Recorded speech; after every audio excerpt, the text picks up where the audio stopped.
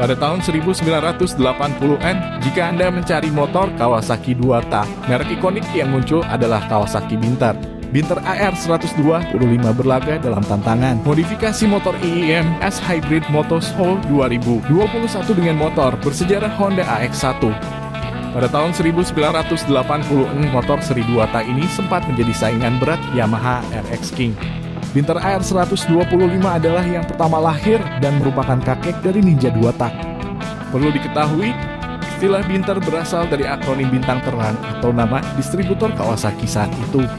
Binter AR 125 merupakan salah satu model yang diperdagangkan di Indonesia. Kawasaki AR 125 diimpor ke Indonesia secara CBU dari Jepang sebagai Binter AR 125. Motor Binter AR 125 ini merupakan model paling diandalkan Kawasaki di pertengahan tahun 1980-an.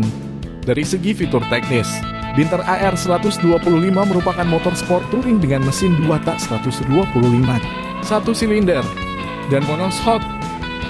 Spesifikasi motor menurut pabrikan, motor ini telah diproduksi sejak tahun 1982 dan jantung mekanisnya memiliki piston dengan diameter 55 mm dan langkah 51,8 mm.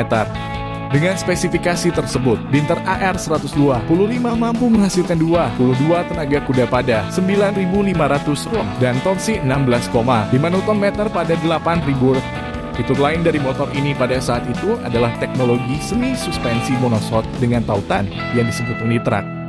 Selain itu, Kawasaki menggunakan karburator Mikuni 24 mm